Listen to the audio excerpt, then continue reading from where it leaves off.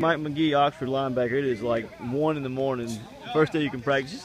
Y'all done this two years in a row, a midnight practice. What's your impression of it? What you like about last year? and Just what do you think about it? Um, I mean, last year it was a great team bonding, and I feel like we came close as a team, and that stuff helped really helped. Like us being up here um, all night, it really helped a lot, like bonding and team. Yeah, I see guys are, kind of running and helping each other out and pumping each other up. Is, is that kind of what this team's built on? You, you, guys get along well off the field too, don't you? Oh yeah, yes sir. I mean, it's pretty much like uh, it's brothers on and off the field, especially on the field, because it's like somebody else trying to come over and take some. If we do, I mean, that's just like that's really just how it is on people, our team bonding.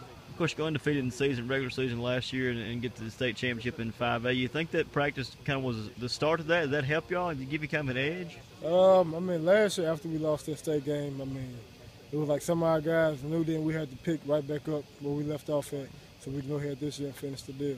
Yeah, uh, confidence-wise, where are you guys? I mean, a lot of guys coming back. People expect a lot. Where are you guys as far as what you think you can accomplish? I mean, there's a lot of people coming back, and we're just gonna have to do what we did last year, besides finish the deal this year. Talk about your game. What, what are your strengths? What do you what do you bring to the team? I feel like I bring leadership. I bring hard work every day. I mean, you can the coaches they know.